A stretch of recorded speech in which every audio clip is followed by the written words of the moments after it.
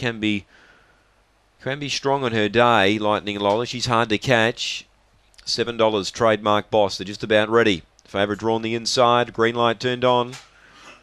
Set to run. Ready now. Away, Rosie Allen stepped away well. Lightning Lola had speed. She wants to try and head off Rosie Allen, who's holding the inside early, though. Uh, back in third was Risky Business. Wider out was Mr. Onassis. Also there, Sunny Aura.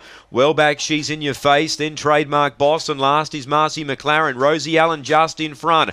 Lightning Lola's a big danger. She comes within a half a length of the leader. Third placing was Risky Business. Lightning Lola goes to Rosie Allen, then Risky Business. Lightning Lola, she switched on today. She came away and beat Rosie Allen. Risky Business third. Fourth, Sunny Aura is there, very prominent with She's in Your Face and Mr. Onassis. Uh, trademark Boss is towards the rear, and back there with it was Marcy McLaren. Lightning Lola.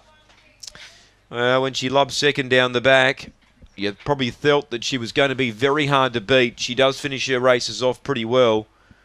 She's got the better of Rosie Allen, who as I said, she's having her first or second run over this distance, so she was a bit suspect. And Lightning Lola was probably the one greyhound in the race that uh, you didn't want chasing you if you're on the favourite. Two third risky business, seven fourth Sunny Aura. 6127, 30 and 88, 30 and 88 here. Run home 1485, 6127 race 7 here at Gawler. 6127 after race